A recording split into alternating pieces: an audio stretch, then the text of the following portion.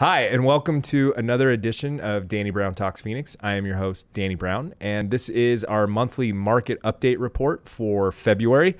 As always, uh, I am joined by Garrett Sergvenik of JFQ Lending.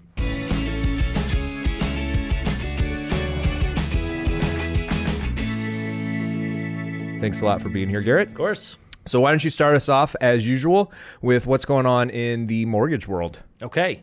Uh, the answer is not much. Um, you know, as, as terrible as that sounds, yeah, it is good. Um, you know, there all of last year we saw rates climb and keep climbing, and then we anticipated it was going to continue into 2019. And um, I think we touched on this last month where rates kind of leveled off, and they even came down a little bit from where they were in December. When I say down, you know, quarter percent, you know, three eighths of a point. So not, you know, they didn't tumble, but they they are at a, at a good point right now. Um, so it's giving people the ability to, you know, buy at a higher price point if they want to. Um, it's giving people that bought last year the opportunity to refi at Sure. this point. And um, you know, it's never too soon to refinance. I typically tell all of my clients when we close on a purchase that, you know, I'm going to contact you around the six month mark and, you know, talk about where rates are at and see if there's an option out there for you. Um, another thing that we probably touched on before is, you know, there's a, a common misconception out there that you have to, you know, save at least a point or two or 1% or 2% off of your interest rate for it to make sense.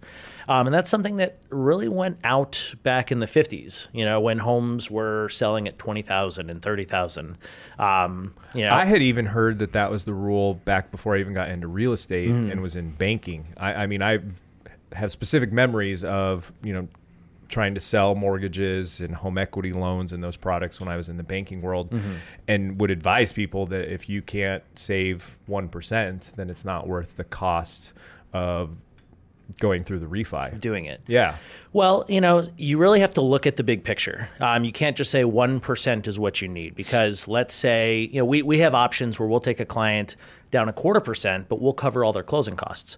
So they're getting a free drop in interest rate by a quarter percent, and that will take them either down in term, like it cut a year or two off their mortgage, or save them, you know, 50 bucks a month. But, you know, it's 50 bucks a month, so why not? You Sure. know, and with a refi, you get to skip a mortgage payment, maybe two.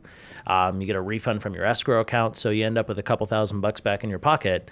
So do you do you think that that the reason that you can do that now versus before it was because there's more competition in the market there's there's options for people for financing where you don't just have to go to a big bank to get a mortgage now you can go to brokers and you can go to all these different people and they're competing for business so they're willing to cover those costs Um, yes, I think that's part of it. Um, I think you know options like this have been around forever. You know, it's just people didn't really look at them. Um, they weren't as much of a necessity, or they just weren't as apparent. Um, so you know, now I think because rates are starting to climb, people are starting to look at alternative ways to you know still provide a benefit to people. And you know, whereas before, you know, back before the recession, for instance, you know, you had people that were at six, seven percent, and you know, in 2013 and 14 when rates tumbled you could save somebody two and a half three percent on their mortgage um, now everybody that has a loan is for the most part at five percent or lower you know or five and a half or lower. So at least hopefully. Hopefully you know there are some some crazy rates out there still but you know you have to look for ways to you know provide a benefit to somebody. And um, you know it's not always just the lender covering cost. Sometimes they are you know let's say you're at a 475 and i can give you a four and a quarter for $3000 in cost or i can give you a four and a half for nothing so you can use those rates to actually get credits to be able to cover the closing um, closing costs on the mortgage so that's interesting yeah, so it's you know you don't always have to get the lowest rate out there. You can get something somewhere in the middle and not have to pay for it.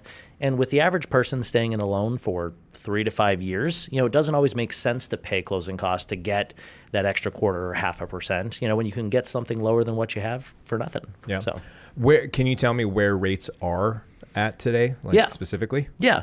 Um, you know, so obviously there's a lot of factors, you know, credit scores, Sure. you know, down payment, things like that. Um, some of the lower rates out there, you can actually get a 30 year fixed in the threes, in the high threes, but you're going to pay for it. You're going to, you're going to pay points, Oh, okay which is a percentage of the loan amount. You're essentially buying down the interest rate. Um, and that means uh, essentially paying the interest up front Correct. So one point is one percent of your loan amount. So on a two hundred thousand dollar loan, you're going to spend two thousand dollars. That's not going to give you 1% lower on your interest rate. It might buy you a quarter percent or three eighths of a percent. Um, and you really have to weigh, you know, how long you plan on being in the home, uh, how long you plan on being in the mortgage, and, you know, determine whether or not it makes sense to pay those. I have clients that are 65 years old. They say, I never want to refinance again. I know rates are at a low point. I'm going to pay as much as possible and get the lowest rate available right now because I want the lowest payment. And I don't want to have to touch my mortgage ever again. And that's great for them. You know, Sure. they're going to be there for 30 more years. Um, And you assume for, I mean, someone in that position that their income is probably going to go down over time. yeah, you know, a lot Yeah. of these people are on fixed income, Social Yeah. Security, pensions. So, you know, and as inflation goes up, you know, they are running out of money. So they want to fix in the lowest payment possible. Um, on the same token, I have millennials that buy a house. You know, we just closed on one the other night, and they told me at closing, we're probably going to be here for three years. I said, okay. And we had gone with an interest rate in the higher fours, even though they're super well qualified, but in the higher fours that got them, you know, uh, an option where they didn't pay a single penny in closing costs. So when they went to close, they only brought their down payment, and that was it. Um, and so they they ended up with a rate like a 4.875 when they could have gotten say a 4.375 and spent five thousand dollars to get it. But for them, they're only there for three years. They're not going to recoup that extra five grand they would have spent in that short amount of time. So it made more sense to look at a higher rate. I think that just really drives home the point that it's not just going to the bank or applying on, you know, LendingTree or mm-hmm. whatever and just getting a 30 year fixed or a 15 year fixed. Yeah. That you there's so many different creative programs out there and everybody's different and you really need to sit down and have a conversation with somebody who is getting to know you Yep. understands the situation that you're in and can best advise you on what product fits you, your lifestyle, and how much money you have. Absolutely. I mean, it's it's really you want to speak to somebody that's knowledgeable about it Sure. because you know you can go to one of these big retail banks like your Quickens and your B of A's and talk to some kid that started a month ago, and they may sell you into something that you don't need or that you know doesn't make sense for you. So, you know, work with somebody you trust. You know, somebody that's recommended to you. Um, you know, I always recommend brokers over your big retail banks Sure. because we're always going to be cheaper. We don't have the overhead. You know, some of these lenders have billion dollar marketing budgets to cover, so they you pay for that when you work with them. So um, definitely talk to somebody you trust, and you know, look at all the options, and don't just look at the interest rate and say. This guy's rate is higher than this guy's because you know this rate may be free and this guy may be charging you for it, and this one may make more sense. That's uh, that's great advice. Uh, thank you for uh, for the info, Absolutely. Garrett. I, I always learn a lot when we have these little conversations. I mean, you just, uh, I mean, I'm in this every day, and I just learned some some great stuff and some great tips from you right now. So Teach uh, me some things. Yeah. so the residential real estate market has been going crazy uh, here in Phoenix and, and actually nationwide. So, you know, we were talking that towards the, the end of the year, fourth quarter, uh, stuff was a bit rocky. Um, the real estate market really slowed down, had a lot to do with mortgage rates going up.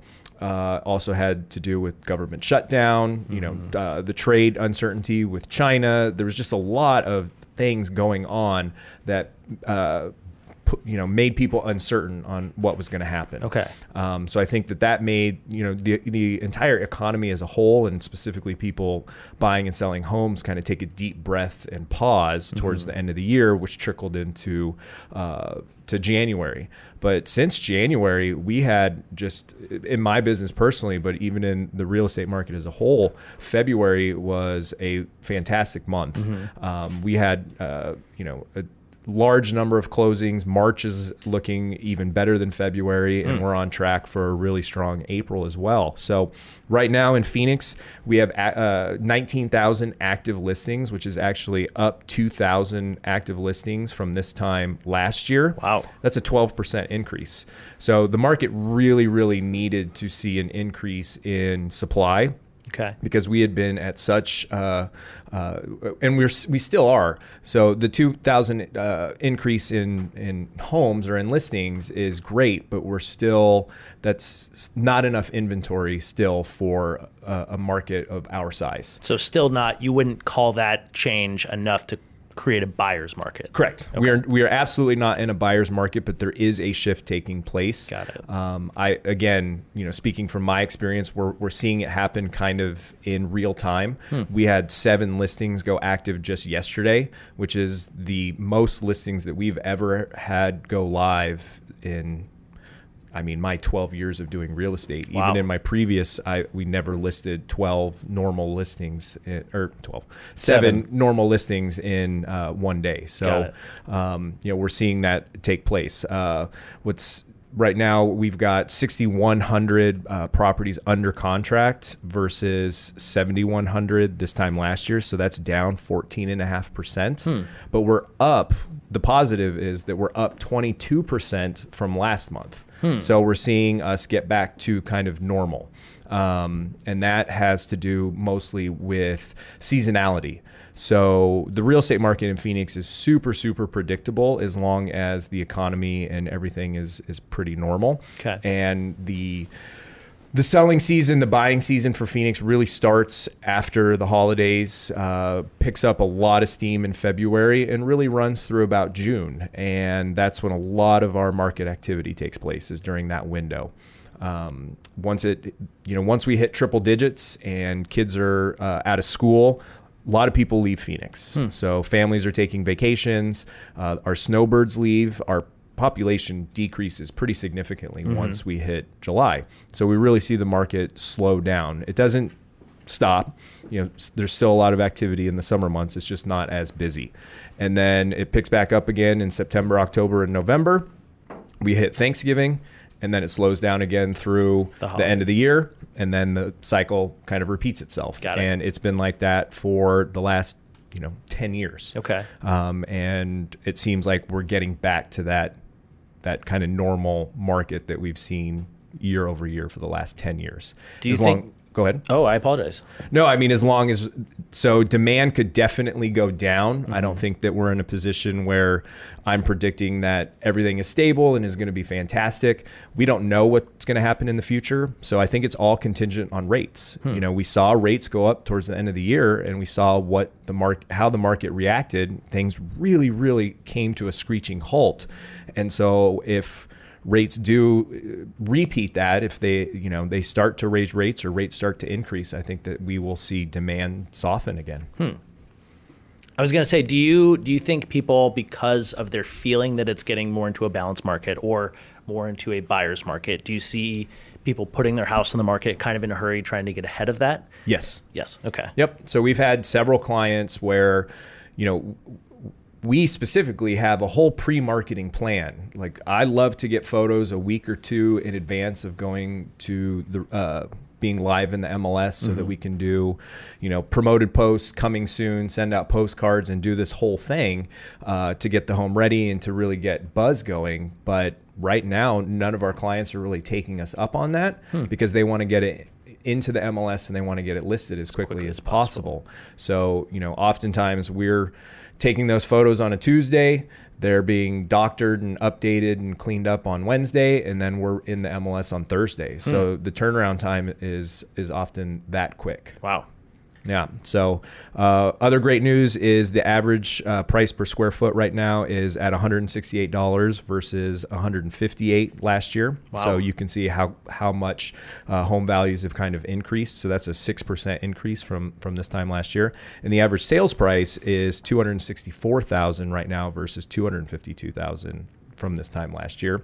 And from last month, we're up almost 1% in terms of the, the average sales price. So, you know, everything's looking good. Um, I'm reading, you know, uh, economic data that shows that wage growth is outpa- pa- is outpacing property value growth uh, or appreciation, which is always a really good sign. We always want to see wage growth go up higher than that because that really impacts people's affordability.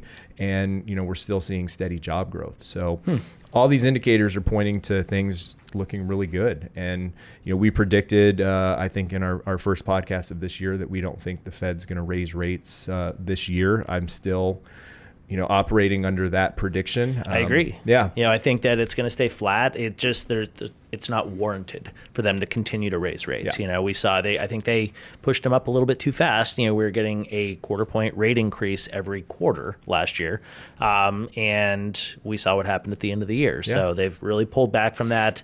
I think everything that I'm reading as well is you know says that it's going to just level off for the rest of the year. And um, I don't think rates are going to go down. I think if people are waiting for rates to drop. I, that's not going to happen. Or, I mean, obviously it could, Sure. but if it does, it's going to be slight and it's not going to drop because the Fed reduced rates. It's just going to drop your normal day to day up and down roller coaster. So, you know, if you're looking at refinancing or buying and you're waiting for a specific time, now is the time. Do it as quickly as possible. I feel like we're broken records, and we always I say know. now's We always say that. Exactly. now is the time. Uh, hopefully, we never have a time where we say do not buy. Like, Yeah. don't do Well, anything. that would be terrible for our business, Yeah. wouldn't it? I mean, the same is true in residential real estate right now. Is is people who are waiting for the market to collapse and for prices to drop. I don't think that's going to happen. Mm-hmm. There's nothing that's pointing to that. What we are seeing are list prices go down, Mm-hmm. and we're seeing more price reductions, uh, and that's fairly typical in a more balanced market. You know, uh, sellers are always a little over aggressive. They're always really excited when they first list their property for sale, and it's normal in a market where it's taking 90 to, you know, uh, 120 days or more for a home to sell to see more price reductions. The the key metrics to always pay attention to are what are those properties eventually closing at, and that number is still going up. It's just not appreciating as quickly as it was last year. It's more it's it's slower and that's what the market needs is for that appreciation year over year to be closer to like, you know, 2 to 4%. Gotcha. Should people start off at a lower point then? I mean, or do you think maybe they'll leave some money on the table just in case that right buyer comes into the house and is willing to pay that higher price? So, you know, buyers, this is a great question. Everybody thinks kind of the old school way that I need to price high in order to negotiate down. Buyers have more access to information than they've ever had before, and mm-hmm. they know what your home is worth. Mm-hmm. You know, they're looking at Zillow every single night at Yeah. properties.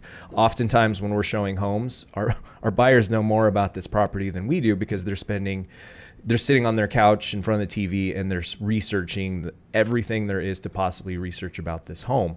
And And sometimes they've already seen it because they've looked on Zillow and there's an open house and they went to see it. I, you know, as you know, Yeah. like my wife and I are, are in the market right now and we went to see a house twice before you took us to see it. So Yeah.